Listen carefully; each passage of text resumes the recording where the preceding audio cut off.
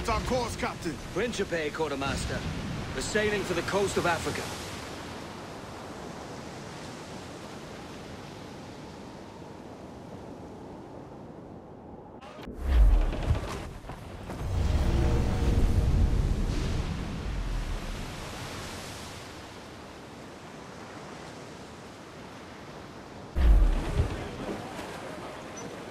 Get the mainsails into the wind!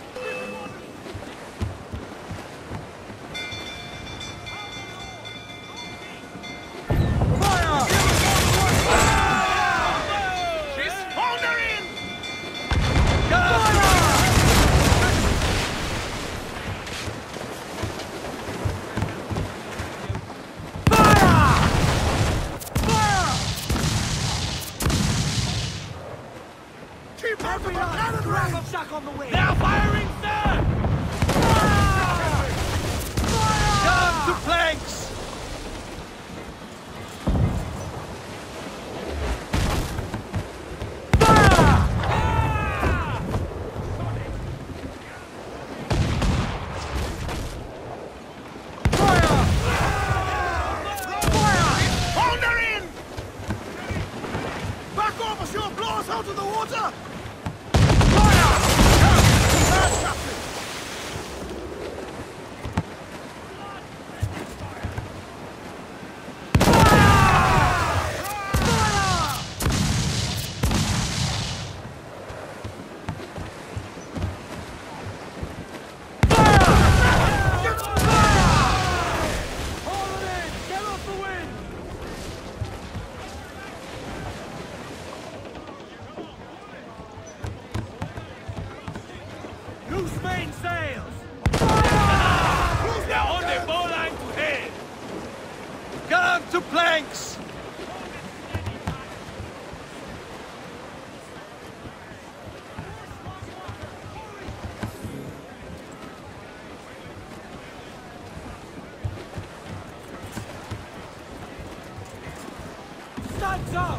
Let's get moving! Aloft, lads! Check those royals!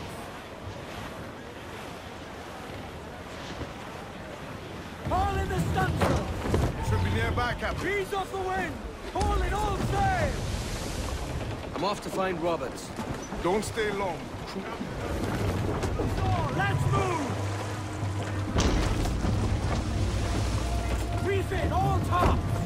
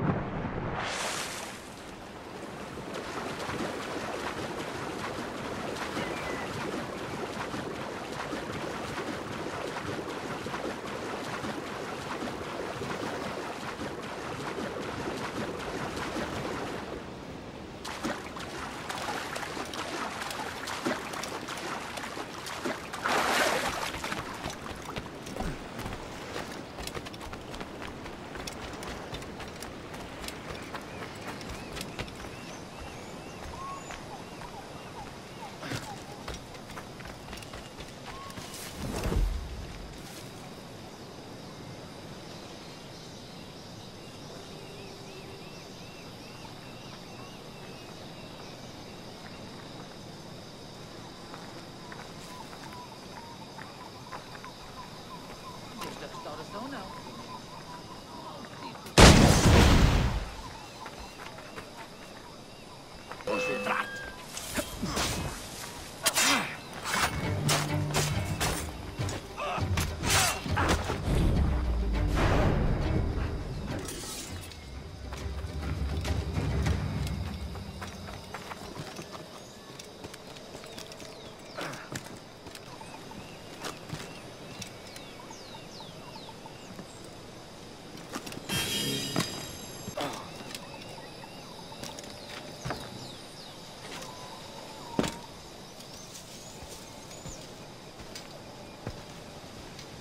Captain Kenway.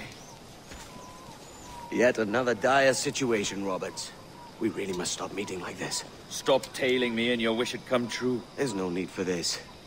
You know I'm as good as my word. Our Captain Howell was killed today in a Portuguese ambush. Headstrong fool. I warned him not to go ashore. It was orchestrated by the Templars Burgess and Cockram. The same sort that took you to Havana. Ah. I see now there is no escaping the Templars' attention, is there? I suppose it is time to fight back. I do like the sound of that. And I know just how I'll do it. But these men, Burgess and Cockram, they cannot be allowed to leave with word of my escape. They won't. Count on it. If you spot any men from my crew, do them some kindness and send them here. I'll do all I can.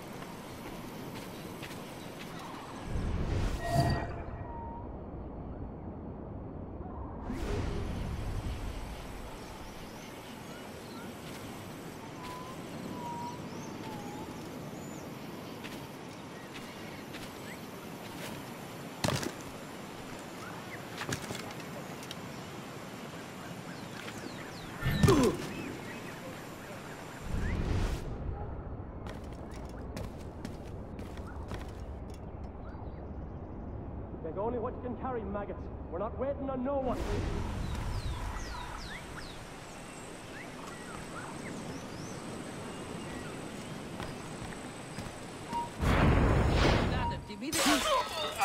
Hostile in that crossbow, we're leaving you behind.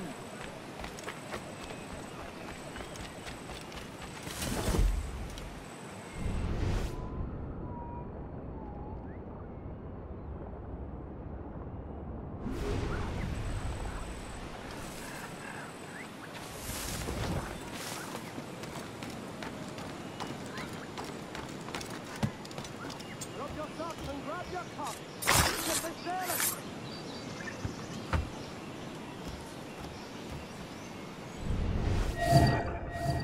Oi, rouse yourselves and haul your ass into port. We're weighing anchor.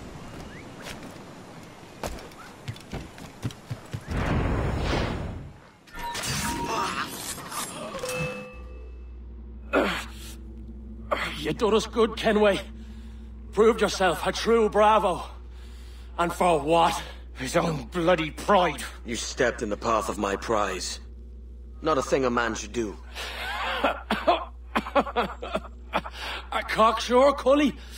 Just like Hornigold said. That Templar scab means nothing to me. None of you do. And you're worse for it, Kenway.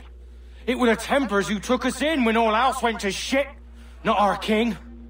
Not our country. The Templars. The Templars is our family. Where's yours?